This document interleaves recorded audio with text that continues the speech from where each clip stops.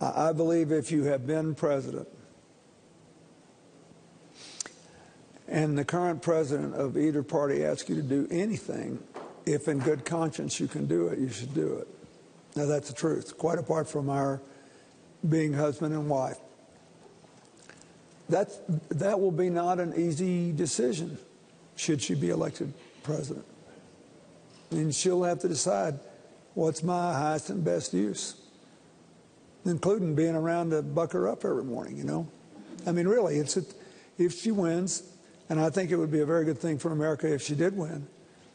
I think, uh, but, wait, wait, but, is, You mean there will be, have to be a hard decision made on, on yeah, the foundation? no, but uh, we'll have to talk about